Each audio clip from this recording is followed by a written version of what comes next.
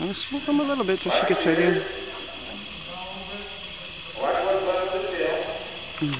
She's just looking. He said, uh-uh, I ain't having this.